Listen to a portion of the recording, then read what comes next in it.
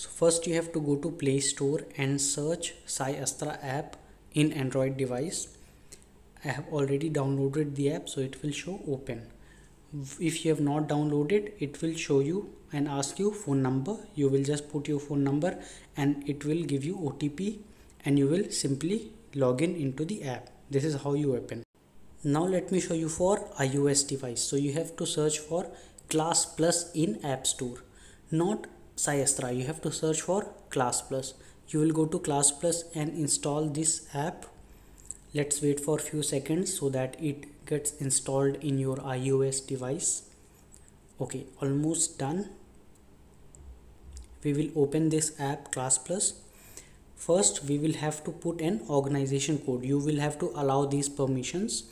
Put organization code VOAAF it can be capital or small then you can put your phone number then you will receive an OTP on your phone number. Make sure you are putting your own phone number so that you know later you can log in and all the access will be on this device. Put the otp and the app will open on your ios device. You can purchase various courses. Let me show you for web version. So on website you have to go to sciastra.com then go to this login button as you can see here right just click on this login. And again you have to put code voaaf so just put the code VOAAF on your website or desktop. Then put your phone number again for login every time we use phone number.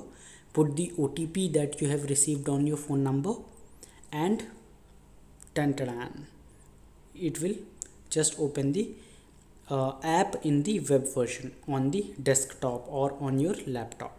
Okay? So yeah.